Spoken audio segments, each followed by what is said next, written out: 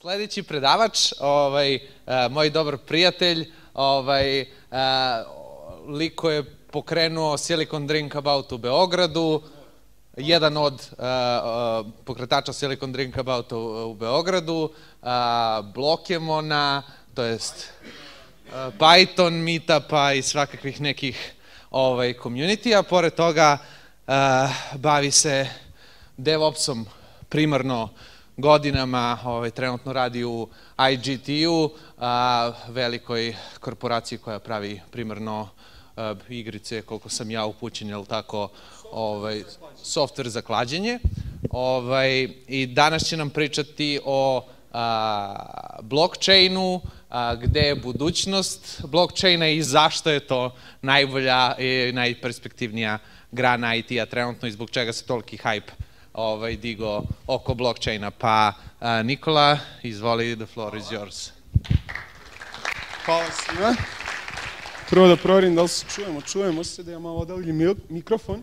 Ja bih se prvo zahvalio sponzorima koji su ovo omogućili i organizaciji, pre svega Nikoli i Marko iz Novi Mid Huba i nekim organizacijama koje su bile za ovo uključene. Volio bih da sam vas vidio ovde više, ali mi je drago da imaju ovoliko ljudi. Tako da bi taj deo prvo, ne bi po imence navodio nikoga od njih, ali ovaj, kako se zove, jedno veliko hvala za sve njih bih voleo, tako da jedan aplauz sada, ako može.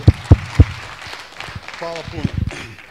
E sada ja ću reći, Nikola je rekao par reči o meni i ja sad razbijam tremu malo.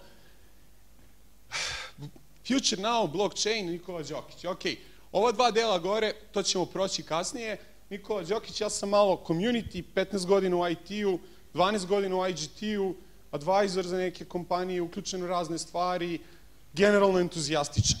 E sada, kako će ići ova prezentacija? Ja ću se fokusirati na razgovor sa vama, interakciju. Tako da nemojte da isključujete telefone, prekidajte me uvek, ako vam nešto nije jasno, pitajte. Tema je jako široka, tema je opširna. Ja ću pokušati da krenem od istorije do onoga šta jeste, bilo da dođem do neke budućnosti. Da li vam je to okej? Okay? Znači, slobodno prekidajte bilo kad. E, super, može neki space? A? Nema space. Gde nam je ona, a? Jel se čujem, a? To, super. Na koju stranu? Gde da ga okrenem? A, nema fatality. Može space slobodno. E, super. Istorija, ostaćemo na space ako može. Onda, kada bude trebalo, ja ću vikati space. Da bi to bilo svima lakše. Ovaj... Mislimo neku zanimljiviju reč, čisto da bude... Više... Pudlica. Evo, pudlica može. E, super. Super, e, znači nemamo još pudlicu, bit će posle. Uhvatili smo šemu. Istorija, okej. Okay. Da bi došli do priče oko blockchaina i zašto je on dobar, morali bi da objasnimo čemu on služi i zbog čega ja sve to mislim. Da bi to postigao, barem do određene mere, što mi je cilj da vas zainteresujem, moramo krenemo od istorije. Kako je krenuo barter? Šta je barter? Da li neko zna šta je barter generalno i kao način trgovine? Ne baš. Recimo, ljudi su imali neke ovce, koze, drva, razne stvari. I kako su oni razmenjivali stvari? Kaže, ja ću tebi jednu kozu, ti ćeš meni metar drva, hvala lepo, si srećan, si zadovoljni. Da li to utvrđuje neku cenu? Pa ne baš. I to je funkcionisalo jako dugo. Super, i oni su se tu razmenjivali, onda neko nekog optuži da mu je podmetnuo, pa krenu da se tuku, ratovi, ludila, lagosime, varasime. Onda ljudi dođu do nečega što se zove gold. I izdaju neke koinčići i kažu, e, mi svi verujemo u zlato, zato što zlato ima limitirano, teško doći do njega, i mi ćemo sad izdamo kojne, koji će da budu u zlatu i onda će recimo ta jedna ovca vedeti jedan zlatnik, taj metar drva jedan zlatnik i tako dalje. Super, lako se prenosi, ne morate terate ovce sa sobom, super. Funkcioniše jako dugo. Onda dolazimo negde 70. kad se nastupa, prekida se sa gold standardom i nastaje nešto što se zove fiat. Fiat currency su imate trust u nekoga.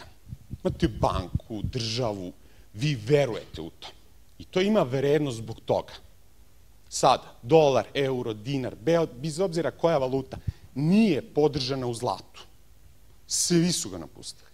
ali bukvalno svi, ne možete dobiti to zlato, kao što je moglo. Vi verujete nekome da će to da vredi toliko. Ok? Problem ogroman, inflatorno je. Ne možete ništa, morate da verujete tom nekome da stvarno imate te pare, da on neće da menja te pare, da će te pare neće se doštampavati. Znači sve je bazirano na poverenju. To je jako bitan element. Zašto je bitan moment kada se pojavljuje nešto što ste verovatno svi čuli, Bitcoin. On je game changer. Prva implementacija blockchain ledgera, blockchain 1.0, poznati kao Bitcoin ledger. I Bitcoin izdaje kojne. On je decentralizovan. To pod jedan. I nije baziran na poverenju. Treća bitna stavka, deflatoranje. Šta to znači deflatoran? Ima ga ograničeno, nema ga više, nikad ga neće biti više i vrednost može samo da mu raste. Dolar, fiat currency, euro, dinar, samo mogu da vrede manje. Zato što se doštampavaju. Inflatorni su. Bitcoin i coini koji su bazirani na blockchainu su deflatorni, samo mogu više da vrede. Super! Došli smo do nečega, ima neki smisao, cela ta priča, ali opet to baš nije nešto najjasnije. Sad ću jednu pudlicu, pošto sam ovo spustio tamo negde, ako može, ne može, a? da probam ja ponovo. Ajmo, jer prošlo? E, impact, super. Došli smo do tog dela da tu utiče na tržište jako puno. I zašto utiče, na koga se utiče? Ovde imamo developere, imamo ljude raznih tehnike, imamo biznis ljude, verujem da je jako šarenolika publika, rekao bi, onako, generalno. E, sada, uslovi svega toga, došli smo, taj Bitcoin je nastao i super. Što bi neko izdao uopšte coin na nečemu tako jednostavno? I šta je to uopšte? Doći ćemo kasnije kako to radi u osnovi, ali sad ćemo pričati o tom nekom impaktu koji on ima na društvo, na ekonomiju i zašto je on dobar za vas. Za sve ljude u celom delu. Ok, prvo javanje. On je temper resistant. Nema menjanja podataka. Transakcija se desila, kraj. To je bez dalje. Znači, nema varanja. Nema double spendinga. Rešava problem double spendinga. Šta sprečava nekoga u banci da potroši dva puta pare? Pa ništa, odeš u minus. Super su to rešili. Ovde nema minusa. Ne možete da potrošite dva puta iste pare. To svima donosi sigurnost. Da ono što je plaćeno je plaćeno stvarno. Proverava se. To je jako bitno. Takođe, jedan deo koji sam kasnije dodao jeste vraćena je kontrola svima. Što je više nodova, majnera, svega živoga, ljudi imaju u celoj toj priči veću kontrolu. Svako može od vas da drži svoj primerak i da uvek pogleda koja je transakcija se izvršila, a koja nije. To je direktan udarac na vas. U smislu, ima uticaj na vaš život. Da li ste developer, bez obzira šta je. Nešto kao što je Željko, dok sam spremao danas prezentaciju, rekao, kao politika. Ako me neko ne gurne, ja ne znam da utiče na mene. Utiče. Odatle je i impact. Bitcoin menjaju stvari. Kasnije ću vam pokazati samo jedan će biti slajd na kome će biti grafikon i pokazat ću vam da potkrepim ove neke delove o kojima vam pričam. Tako da, to je suština blockchaina. I sad sve vreme ja pričam o Bitcoinu. Tu postoji još neki drugi tipovi blockchainova. Postoji Ethereum i postoji nešto što se zove Fabric, odnosno Hyperledger. Zašto su oni bitni? Doći ćemo kod dela koji dolazi sada sledeći, koji se zove, malo, da ćemo malo pričamo o tehnologiji. E, bravo, nema putnice. Dolazimo od tehnologije. Kako sad sve to radi? I šta je tu neki termini proof of work, proof of stake, on nešto računa tu i sad sam ja video, on tu nešto računa, troši struju, taj miner prevara svetska, oni muljaju tu nešto, nema laži, nema prevari. Jer dolazimo negde i imamo neki napredak. Neko pitanje, nešto. Ok. Tako je. Tako je. Znači, Ledger je knjiga transakcija. Tu pišu sve transakcije od početka nadalje. Znači, neko kaže, ok, to mora da je veliko. Jeste, ogromno je. 110 gigabajta. Trenutna situacija 110 gigabajta i rašće. Nije nešto pretrano veliko, ali bit će manje. Bacuju se neki pojmovi kao što je segwit ili segregated witness, koji će smanjiti količinu podataka koji se pišu. Tu dolazimo do neke najbitnijih stvari. Znači, sve se dešava svuda i svi se nešto sinkuju. Da li je neko od vas koristio GOSI protokol i zna šta je to? Neka ruka, neko. Niko, okej. Ajmo ovako da zamislimo. Zamislite da je ovde mrkli mrak. Kako ću ja znati, ili bilo ko od vas, ko je sve prisutan u sobi? Neka ideja? Tako je, svi ćemo vikati. Ću reći, e, Nikola ovde ne bini, ja me čuje neko. Onda će me čuti Nikola. I on će reći, e, Nikola ovde, čujem te, ja sedim u prvom redu i vikaće dalje. Onda će ga čuti Vuk. Vuk će isto to reći. I ta informacija će vremenom doći do svih. I moći ćemo da se prebrojimo. Baziranje na gosipu. To je sa tehnološke strane jako bitan element. Tako svi sebe otkrivaju. Niko ne zna za postojanje, možda uđe neko nov, on kad uđe, on kaže, e, ja ušao, koga tu ima? Zovem se tako i tako, tu se nalazi. To je bazirano na gosipu. Či znači, to je neki deo koji donosi neku drugačiju strukturu. Ajmo sad da kažemo, reci. Na tome, ove, transakcije, transakcije su zapravo razmena bitcoinova između dva entiteta, tako? Ili su transakcije nešto skroz drugo? Šta su transakcije o kojima pričaš? E, super, dobro pitanje. Okay. Bitcoin je gas. Opa, totalni shift. Neko mora to da vrti i neko mora da troši svu tu struju i sve to super i on dobija nad, naknadu zato što je to radio. On je dobio gas. U okviru Bitcoina vi možete trgujete njim i u okviru Bitcoina je samo Bitcoinima mogu da se vrše transakcije. Postoje razlike na drugim verzijama blockchainova, gde vi možete asitima da trgujete, možete fiat currency, možete trgujete digitalnim digital artom, možete da trgujete bilo kakvim propertijem. U situaciji Bitcoina, da se ovo ne pretvori u Bitcoin predavanje, ja ću ubacivati druge stvari. Znači, Bitcoin je gas. I tu dolazimo, pošto smo već krenuli u tom delu, a ja volim da pričam onako kako stvari se odvijaju šta ljudi interesuje.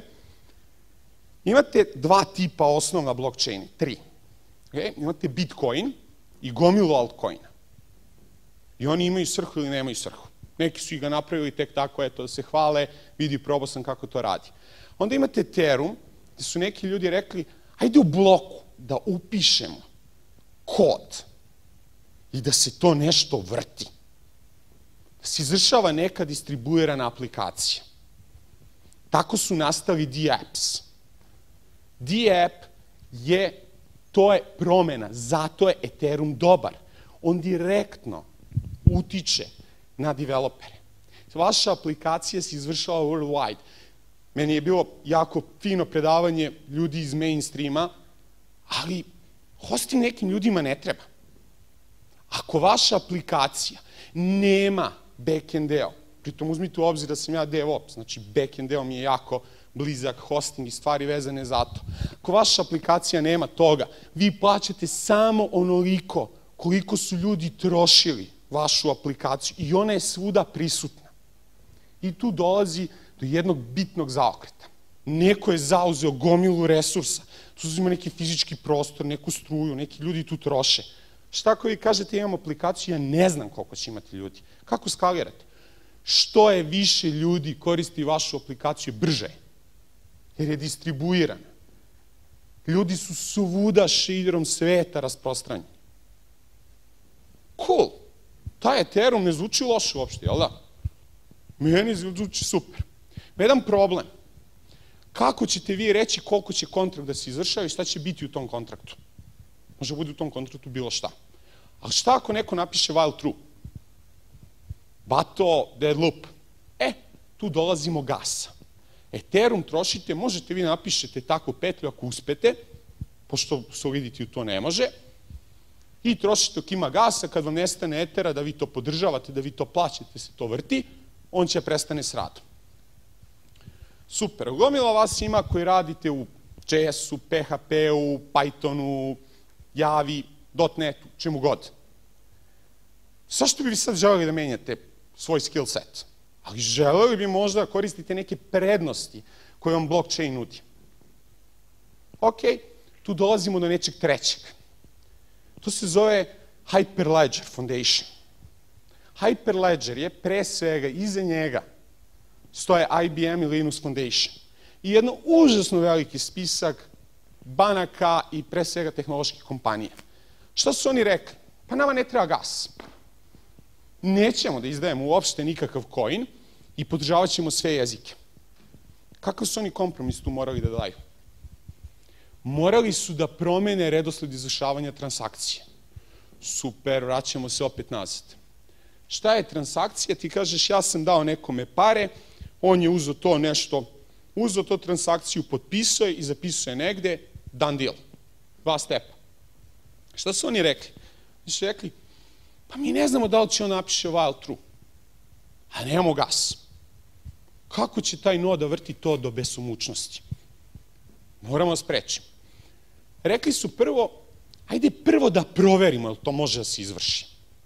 Jel taj kontrakt i ta transakcija izvršiva. Pa ćemo onda da zakažemo upisivanje te transakcije, pa ćemo onda da izvršimo. Znači sad imaju tri stepa. Više nije potreban gas. Što?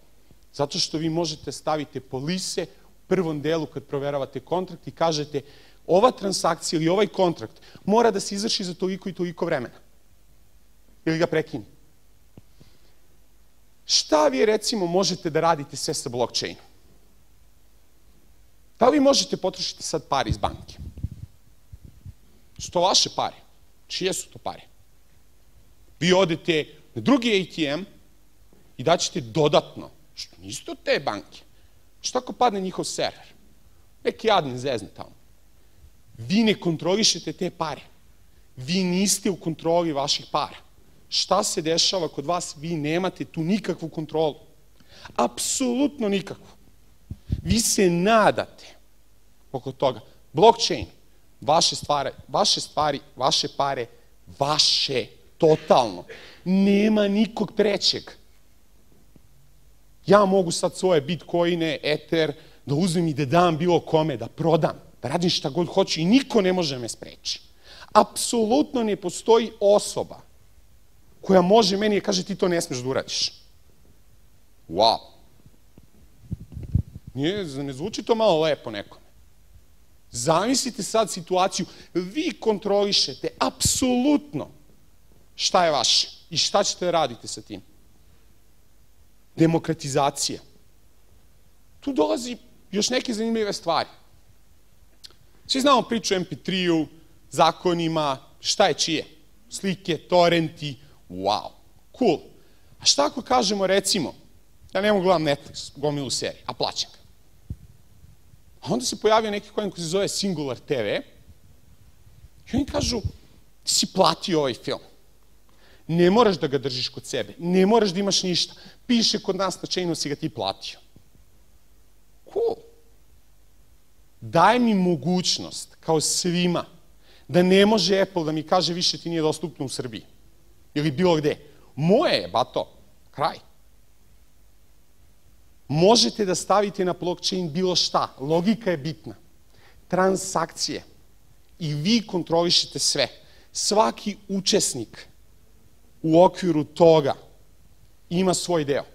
Toga direktno ste utici. Znači, nije nikakve trange, fange, džangbo, mambo bilo prošlo. To je stvar koja došla i ostaje. Naći ćete neke futuriste koji ga referit, stavljaju labele kao Internet Revolution 3.0. Svaki vaš telefon, smartphone, ja nemam smartphone, je, to svi znaju, to je opšte poznata činjenica, ali svi oni imaju po nekoliko gigaherca. Jedan garant, a vrlo verovatno dva i nešto. Znate li koliko je to energije koje se troši? Znate koliko tu treba servera neko stavi? svako može na svim tim devajsovima da oni non stop rade za sve i da pritom dobija nadoknadu za to. Zvuči to uopšte, idemo dalje, nešto se tu dešava. Možete da ih programirate, igrice. Možete da programirate full aplikacije. Imate apsolutnu kontrolu oko svega. Najbitnije imate kontrakte. Imate pre svega primjena toga. Što je vaše, vaše. Nema katastra. Ćete kuću kupiti, kuper, stan, šta god. Upišete ga na chain, Danska recimo to podržava već, vi ga upišete tamo, ne može, bato, nema stvari koja crkne. Moralo bi bukvalno, pre svega, na velikim chainovima, kao što su Ethereum, Bitcoin, moralo bi bukvalno da nestane planete. Dovoljno je jedan učesnik da preživi, chain se vraća na live. Nema gubitka. Tu je da ostane i neće nestati. Provereno. A vi sve kontrolišete. Nema niko da laže nešto levo, desno. Zato on utiče na vas. To su neki od razloga. Možemo sledeći slajd. E da, ljudi, reci. Koje pitanje? Ja sam skoro čitala da je, ne znam da li jedan čovjek ili kompanija da su imali nešto mnogo novca u bitcoinima. I pošto smo tu sami vlasnici, ja nema banke stane za na, na nas, neko ga je pokrao i iza njega niko nije stavio za kompaniju, nego seti tašu i on je bankrotirao. A mene ako haker pokrade u banci, ako probije sistem, banka će stati iza mene i vratit će mi taj novac.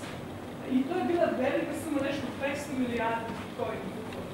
Znam da je bila nenormalna suma i to se pre par dana pročitao, ne znam gde. I on je bankrotirao jer niko ne garantuje. Srbin info da nije. Ne, znači bilo. To, to je Japan bio neki ovaj fond. Neki. Ne, Japan već recimo ne podržava taj sistem. Sam tamo u Japanu pokraden moguće, ne znam gde, ali znam da je nenormalna suma bila u pitanju. Evo, ja ću sad prvo jedno pa drugo. Ovaj, kako se zove, da, to je moguće. Imaju neki problemi. Vi, e, dodat ću odgovor i na taj deo ako može. Šta je tu stvar? Vi imate servise sada koji vam plaćaju osiguranje. I možete da stavite na public volete. Ne morate držite na svom računaru i dobijete istu tu uslugu. Oni su osigurani. I zna se na koju su adresu otišli. U 99% situacija sav novac se vrati nazad postoje firme već public wallet koji su osigurani i koji garantuju za vaš novac. Ne, ne, ne, ne, ne, oni vama garantuju 100%, a taj koji je ukro 99% novca vrati od gde je ušao, ali tebi neko drugi refundira. Znači, imaju public wallet, imate i pun internet, preko 200, koji vam nude uslugu banke, u smislu ja ću da čuvam za vas. Ja čuvam za tebe i ja ti osiguravam tvoje kojine, da ti ne držiš. Ali šta je twist? Ti možeš da ih uzmeš kad god hoćeš da staviš kod sebe, a možeš i da vratiš ako želiš dodatnu sigurnost i kažeš, recimo, ja sam poverio nekima. Ne držim svoj private wallet. Ja sam stavio kod drugi baš iz te situacije. Ali oni meni osigurano je. I njima taj servis plaćam 0,00001 bitcoin nedeljno i oni meni osiguravaju celokupnu sumu. Znači, osigurani su kod pravog osiguravajućeg društva. Pokriveni su 100%. I oni mi garantuju da će moji kojini biti sigurni. Njegova izbor. Zamislite koja je situacija ako vi uzmete vaše pare iz banke, evo, pošteno, ovaj, šta se dešava u situaciji? Isti primer. Imate u stranu životu. Vi odete u banku, uzmete pare, donesete te pare kući i vas neko pokrade.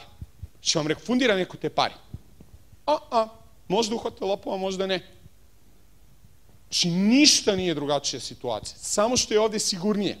Jer u banci uzmeš pare, ako je to veća cifra novca, možeš da se najaviš. Pa moraš nekome da prijaviš ovo, pa moraš ono i tako dalje.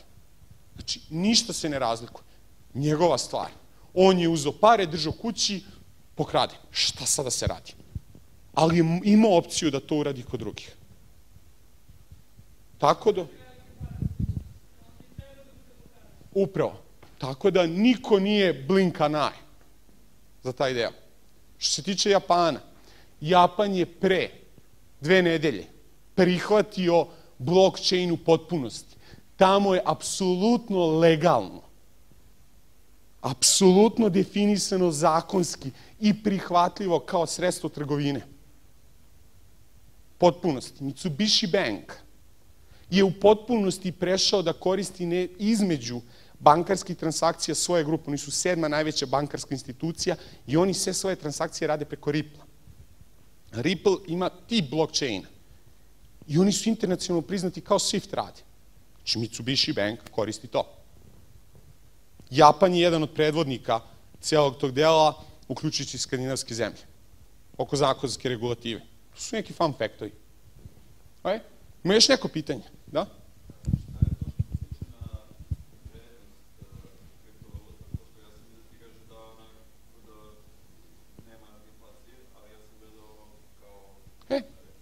super. Znači ti si gledao berzu. Jer može sledeći slajd. A? Se pojavio?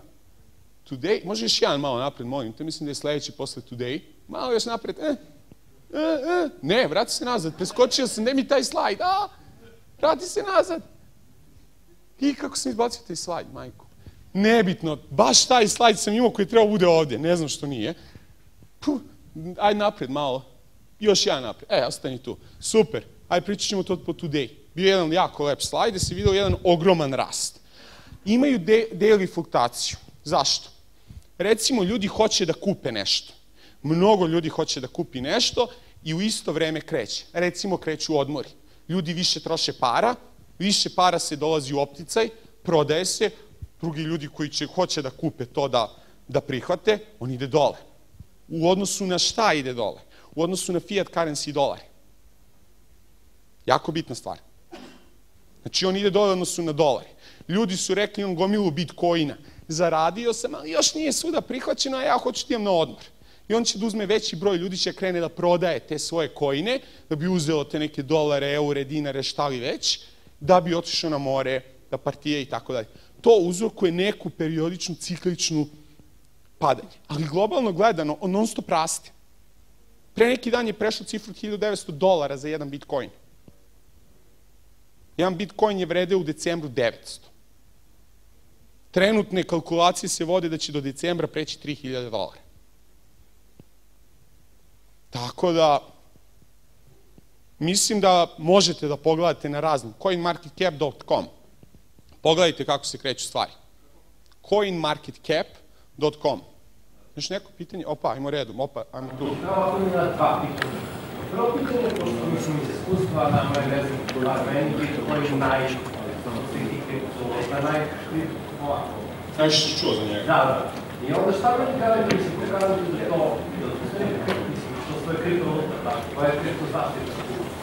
I drugo pitanje je, zašto se za kopanje te kriptovaluta uglavnom koristi grafički procesor, a ne ovaj, CPU. Ok. Odgovorit ću sad prvo na drugo pitanje, što je lakše, ponovit ću. Zašto se uglavnom koristi GPU, a ne CPU, prilikom računanja heša za kopanje? To je bilo pitanje. Jednostavno, GPU mnogo brže radi jer je optimalizovaniji za rad sa heševima. CPU je za generic. Znači, on radi sve vrste kalkulacije, ali nije optimizovan za to, samim tim postiže bolje rezultate. Ali najbolje rezultate daju ASIC devices, koji su fizički dizajnirani procesori koji samo to rade. Ali ima gomila valuta koji su CPU orijentisani, sve zavisi koji je model primenjen, da li proof of work, proof of stake, Byzantine fault tolerance, distributed Byzantine fault tolerance ili neki totalno deseti. Tako da je tu pitanje zavisnosti, ali u slučaju Bitcoina, odnosno Ethereuma, grafički procesori su mnogo bolji, zato što način kako on validira transakciju mnogo bolje izvršava GPU. E sad, možemo ponoviš prvo pitanje, pošto sam ga već zaboravio. kripto zaštite, ko nama garantuje to naš, tako, taj jedan Bitcoin? Ok. Znate za HTTPS, TLS. Čuli ste za pojmove private public key. Kako se, ovaj, kako se zove, vi imate coin. Ima vaš private key. On je sajnovan nodu koji izdo adresu, a toj adresi pripada odgovarajući private key. Dok god imate taj private key, to je vaš. Ali ako mi prodamo taj Bitcoin, On zabeleže na ledgeru da on više ne pripada toj adresi, nego drugoj adresi koja ima svoj private key. To je logika. Ajmo sad dalje, ko je bio sledeći? Pitanje je, mi možemo bilo koje usluge da naplaćamo kao, kao Bitcoin. Tu ali a, kopanje Bitcoinu ne povećava količinu Bitcoina koja postoji ili kako? Postoji neki Bitcoin nivo koji se naravno deli od tada ili kako? E, super. Ja ću sad ponoviti pitanje. Znači, pitanje je glasilo, parafrazirat ću ga malo simplifikovanu verziju, da li povećanje broja majnera povećava broj bitcoina i kako ga to sprečava da izdaje dalje? Je li bilo još neki dela od pitanja? Ok, znači može da se naplati. E, sad ću ja tu reći jednu stvar. Imate nešto što se zove difficulty, koji kaže početku blockchaina. Svaki novi blok krije iza sebe bitcoin. I svi su nagrađivani. I u startu si mogo mnogo lako da ih kopaš. Ali kako vreme ide, taj difficulty se povećava i sve se manje izdaje, da bi neke 2030 i neke godine poslednji bitcoin se izašao. I sad kao, što bi ljudi sad tu radili majneri? Šta je logika? Što bude više majnera, više transakcije. Za svakoj transakciji vi plaćate neki mali, mali, mali, mali fi. I onda u jednom trenutku više neće biti potrebno da ima simulacije, da se izdaju novi bitcoini, nego će svi moći da žive jako lepo i srećno od postojećih transakcija, jer će ih biti mnogo više. Znači, zbog toga ne sprečava. Povećanje broja ljudi samo ubrzava koliko će brzo da se izračunaju sve transakcije. I svi srećno lepo žive, jer ako neko dobije transakciju u kojoj ima 1000 bitcoina, a on dobija 0,05, je malo. Znači, svi zarađuju od svake transakcije se isplaćuje majnerima. Ali zato što ih je sve više i više, sve je teži difficulty koji treba da se to izradi, da bi tamo 2030 i neke iskopo se poslednji bitcoin posle koga nema dalje kopanja. Samo se verifikuju transakcije nove, ali promet transakcije je značajno veći nego kad se pojavio 2009. Sledeće pitanje koje je bio, je bilo ih još. Koji je sada difficulty rate, koliko ti zapravo treba da ti se neku možda pristojnu mašinu za to, imaš jedan bit Ho, ho, ho, ho, ho, ho. E, ovo će biti malo dugo pitanje, sad ću ponoviti pitanje. Ću... kolegu, a, a, da definišeš neku pristojnu mašinu. Ok, ja, ja, ja ću to reći ovako. Znači, nema veze koja je mašina brzine. Wow. Sad ću ponovim koliko je pristojna mašina vremenski treba da bi ona iskopala jedan bitcoin? To je bilo pitanje, je li tako? E, sada, ja ću vam kratko... Da? Što da za sve rasličitimo, pošto malo je onako gledina je postoje. Ti kad kopaš, kopaš coin, ili i ko, zarađeš i od coina koga nađeš i od transakcije. Tako je. Znači, samo to malo da razjasnimo za... Znači, kada kopate, kada kopate, prvo sad ću odgovorim na drugo pitanje, znači da razjasnim deo koji ljudima nije jasan. Kada kopate, vi zarađujete i kada otkrijete novi coin i od svake transakcije koja je kod vas obraćena. Znači, da li je to taj deo čistost? Znači, kada radite majnovanje, vi zarađujete i od svake transakcije koja je obrađena od strane vašeg majnera. Ali kada otkrijete coin, to je extra reward. E sada, zašto nije bitno koliko je mašina jaka? Zbog nečega što se zove node race. E, to je malo komplikovanija tema da ja sad objasnim, ali svi trebaju da imaju jednake šanse i u Bitcoinu blok maksimalna veličina je 1 megabajt. I teoretski svaka mašina ima podjednake šanse, odnosno svaki hash rate, 1, i sad mašina ako ima, ne znam, 30 gigaheša, ona će imati 30 giga puta više od onoga ko obrađuje jedan hash. Mislite sada firmu koja dođe i napravi na nivou Srbije i kaže umesto katastra i kaže ja sam napravio blockchain aplikaciju, blockchain koji je optimizovan da radi sa registrom nepokretnosti. Znate kad će moći da se desi u toj situaciji kad to neko napravi? Da neko kaže, e, pa, pa, katastar je, znaš, ovo je metar, pomerati se zid. Pa to nije tu, to jeste tu. Nije, bato, to je tu. Znate koliko će se skrati administracija države? Zato su neke države krenule jako agresiju. Znate šta se dešava recimo u Danskoj? Oni imaju jako puno green energy. Čovjek drži svoje solarne panele, kod nas to može ni više ne može prodati, kod njih može. Sva proizvedena struja koju vi date, negde se piše kod njih u blockchain.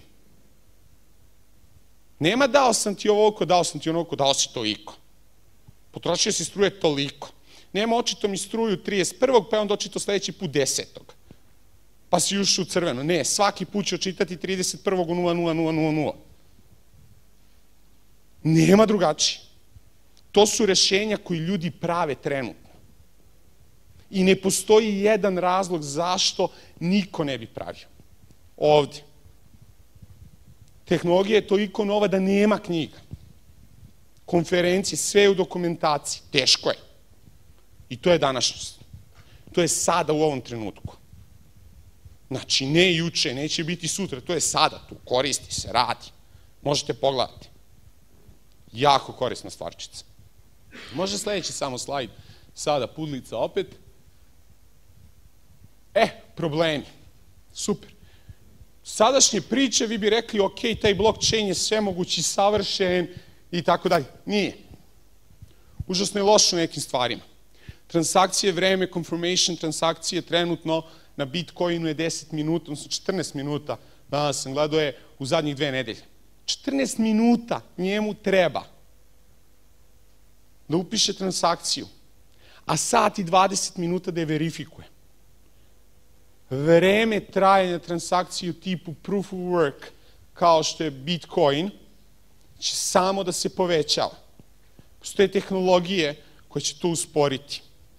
Ulaze novi mineri i sve to ide super i povećava se power, ali ne za sit. Či ima neke svoje loše strane. Takođe, loše strane, problemi. Nije dobro u nekim situacijama, jednostavno treba vam dedicated stvar. Nije uvek dobro da imate onda. Ali glavni i najveći problem, raste. Samo može da raste. Postoje tipovi blockchaina koji ne rastu, ali ima svoje probleme. Bitcoin konkretno taj. Podložan je takvom uticaju.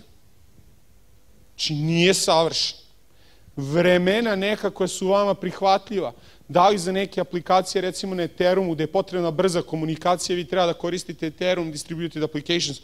Nikako. Jer vi ne znate kad će se izvrši. Kad vam trebaju one? Kada želite da znate da će sigurno nešto da se izvrši. Znači, tome su loši, užasno. Nemojte da dovodite sebe u zavludu da će on zameniti postojeće tehnologije. Neće. On donosi novo i donosi sadašnjim pokvarenim tehnologijama i načinima rada neku prednost, ali nije odgovor za sve. Apsolutno nikako. Ali ima mnogo prednosti. Ja sam izdvojio te neke kao glavne. To su neki glavni problemi. Nemojte da gledate kao na to savršeno, kao što mnogo ljudi gleda to u blockchain community-u, ili kako god da nazovem, ljudi koji se bave time, znači nije definitivno. Da li će to u budućnosti postati sve bolje? O, hoće. Ali ima neke stvari, svoje limite. Tako da imaju probleme. Može sledeći slajd. Future.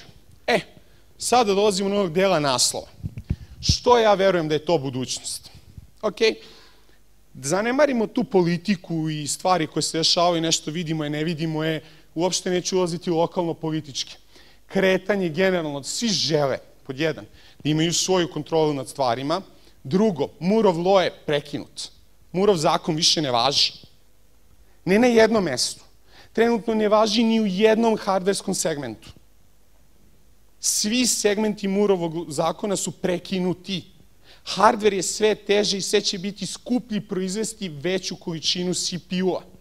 Mi svi bacamo gomilu CPU-a u našim telefonima televizorima, frižiderima, mikrotalasnim, kompjuterima, to sve bleji. Ako pogledate, ja bih volao da iz mainstreama kažu, ali ja ne verujem da prosečna zauzetost servera prelazi 5 do 10%. A onda jedan ode preko 150%, ne može mukica se izbori. A to na neke snage, tu stoji blej. S distribuiranim stvarima će ta količina biti, da? Radi sa njima. Ne, mislim za server. Ne, ali mislim za servere, konkretno kad imate jedan server za hosting, dođe neko, imali ste te primere kako sam vidio iz prezentacije, i neko dođe, da li imate možda informaciju koliko je to statistički? Kad hoće da pređe klasičnog modela na naprednji model, Da. Jeste, tako je, na kilo.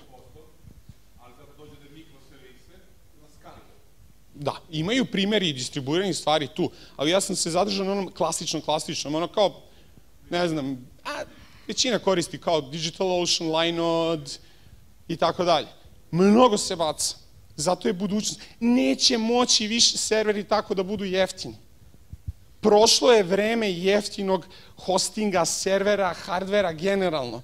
Da vi dobijate svakih 18 meseci duplo brži hardver. Sa svega duplo više neće biti. Odjednom će početi ljudi morati da počnu da optimizuju svoje stvari. Inače će da ih košte jako puno para. Neće biti konkurentni tržištu. Niće niko hteti te stvari. Ako tebe nešto košta, proizvedeš 100 dolara, ti ćeš morati prodaš za 110. Ali ako ga neko optimizuje može da ga proizvede za 5 dolara, on može da ga proda za 30 dolara i da bude beskonačno višem profitu nego ti. A četiri puta jeftiniji, tri, koliko. To je nešto što je, to je nešto što će se desiti u budućnosti. Sve nove stvari, supply management, kako trenutno može bilo ko da prati svaki element nekog chaina, proizvodnja kola, koliko trenutno je učestvuje proizvođača u tome? Jako puno. Teško pratiti. Dovoljno je da je jedan breakuje. Ako imate blockchain, vi možete da pratite svakog proizvođača po na osobi uvijek da znate koliko tačno toga ima. Koliko čega fali, kad treba da stigne. Uprošćava celu operaciju. Potrebno je da se stvari automatizuju i u tom delu. Glasanje. Znate, JMBG, ok, treba bude jedinstven. Guess what? Nije. Dođe neko tamo kada se vi otvorite JMBG i on upiše tada na osnovu vašeg grada, datuma rođenja i još neke brojeve koji treba da budu jedinstveni. Ja sam siguran da znate nekoga, barem iz vašeg okruženja, koji je imao problema sa JMBG-om. Ako ne znate, ja sam konkretno imao kolegu koji imao isti JMBG kao neki njegov sugrađan. Žena kad je došla tamo je mrtva ladna rekla, ok, sad ćemo mi njega da izbrišemo. Wow! Wow! Izbrisala je žena i kao, a šta će biti sa njim? Pa ništa, doći će ponovo kad mu kapiraju da ne radi. Wow! Zamislite sada, ima, svako od nas može da dobije neko jedinstveni deo, da je to jedinstveno samo to. Da sistem kao što je MBG, pa da imamo situaciju sadašnjih izbora, konačni primjeri. Koliko ima glasača? Je li umro neko ili nije umro? Je li se rodio ili se nije rodio? Ima 18 godina, nema 18 godina. Sad zamislite u takvoj situaciji kad imate tu informaciju gde vaši neki delovi, nema sumnje. Sigurno je tako. Nema ovde upisano, ovi zaboravili da upišu, oni su pisali, oni nisu upisali, šta se dešava. Takve stvari nemaju. To zbog takvih primjera i da ne trošim previše vreme, generalno možemo da nastavimo ovu priču, ko bude zainteresovan, bit ću ispred, da postavi u tom delu zašto mislim da je to budućnost. Tu ima toliko toga. Sad možemo da pređemo na pitanje. Imate neka pitanja? Zvolite. Pored Bitcoin kao kriptovaluta, koja po tvojih druga ima kredibilitet, potencijal i neki traction? Ok, ponovit ću pitanje. Hvala.